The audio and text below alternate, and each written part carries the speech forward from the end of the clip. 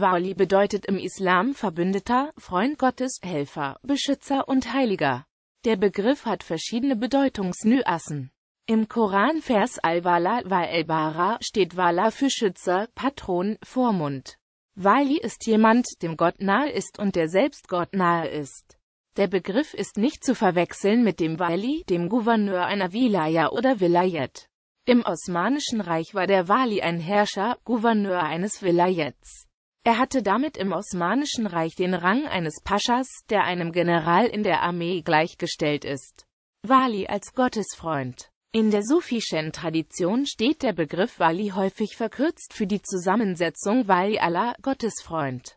Der Gottesfreund nach sufischem Verständnis ist ein Mittler und Bindeglied zu Gott. Er steht im Schatten des Propheten und kann als Heiliger Wunder vollbringen, wenn er dies im Gefolge des Propheten tut. Die Funktion als Mittler und Beschützer fasst Abu el-Abbas Ahmad ibn Atta für den Gläubigen einschränkend zusammen. Mehrere Koranverse sollen die Existenz der Freunde Gottes als einer eigenen Klasse von Menschen, die über den anderen stehen, beweisen. Am bekanntesten sind die Suren 10, 62, 63, in denen es heißt, nach verbreiteter Vorstellung bilden die Gottesfreunde zusammengenommen ein festgefügtes System hierarchisch geordneter Ränge. Innerhalb dieser heiligen Hierarchie nimmt Schiit eine herausragende Position ein. In mehreren sufischen Texten wird er als der Vorsteher der Gottesfreunde bezeichnet.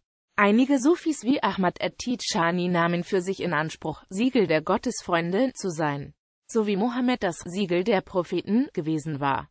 Bedeutung im schiitischen Islam Basierend auf des Propheten Mohammed umstrittenen Ausspruch, wessen Wali ich bin, dessen Wali wird nach mir Ali sein, bezeichnen schiitische Muslime zudem den Imam Ali ibn Abi Talib als Wali Allahs.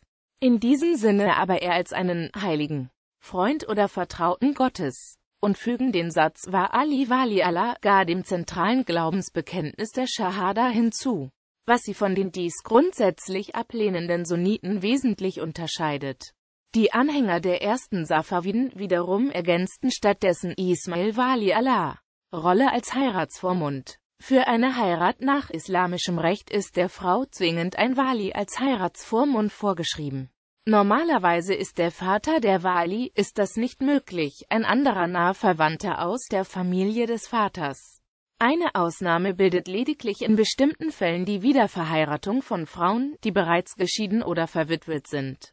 Der Ehevertrag wird zwischen Bräutigam und Wali geschlossen. Im klassischen islamischen Recht können Vater und Großvater väterlicherseits als Walimut die jungfräuliche Frau auch gegen ihren ausdrücklichen Willen in die Ehe mit einem Muslim zwingen. Der Wali hat außerdem die Aufgabe, den Ehevertrag auszuhandeln, ebenso den Brautpreis und Morgengabe. Siehe auch